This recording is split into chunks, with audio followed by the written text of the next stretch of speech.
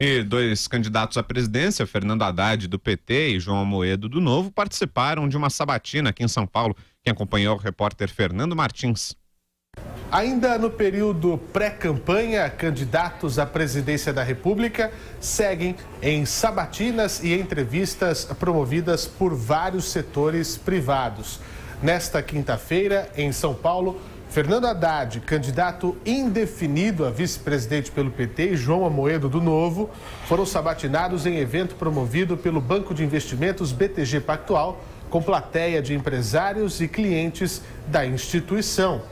Fernando Haddad fez força para mostrar que estava ali como representante dos petistas e que o trabalho é garantir a candidatura de Lula. O ex-prefeito de São Paulo, questionado sobre a impossibilidade jurídica e legal da candidatura de Lula, se limitou a defender o ex-presidente que está preso desde abril em Curitiba. Para Haddad, a prisão é casuísmo e Lula não é um oráculo, mas sim uma liderança que ensina muito e que tem método de trabalho. O Lula tinha um método de trabalho. Fala, bom, temos um problema aqui. Como é que nós vamos resolver esse problema? Alguém acha que saiu da cabeça do Lula o ProUni? Alguém acha que saiu do, da cabeça do Lula o crédito consignado?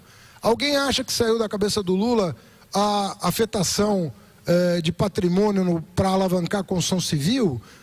Isso não foi assim.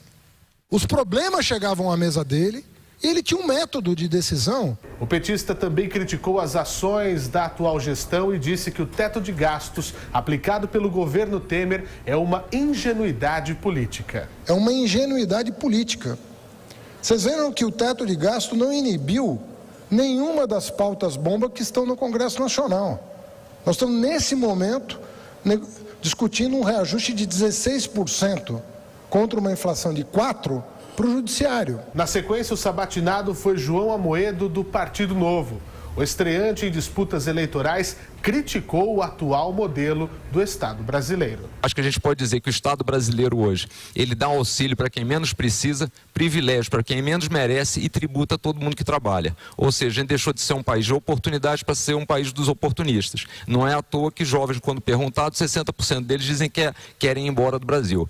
Então, essa é a realidade que a gente precisa mudar. Segundo Amoedo, que vem do setor financeiro, seu eventual governo será sustentado em três pilares. Primeiro, a gente tem que colocar o Brasil na rota do crescimento. Segundo, só assim para a gente ter oportunidades e isso passa por liberdade e educação. Segundo, a gente tem que fazer uma união da sociedade em torno de princípios e valores. Acabar com a ideia de que o bom é ser vítima e não ter sucesso. Acabar com a ideia que a gente deve combater a desigualdade, a gente precisa combater a pobreza. Inclusive, o Estado brasileiro é um dos maiores responsáveis pelo aumento da desigualdade no Brasil. É, a gente precisa valorizar o trabalho, precisa valorizar o mérito, envolver a sociedade nessa participação. E terceiro, a gente precisa ter um sistema político que de fato nos represente e que permita a alternância de poder. O candidato do Partido Novo evitou falar sobre quem apoiaria em um eventual segundo turno e criticou a postura da esquerda adotada pelo PT, o centrão na base de Geraldo Alckmin e a extrema-direita na linha de Jair Bolsonaro.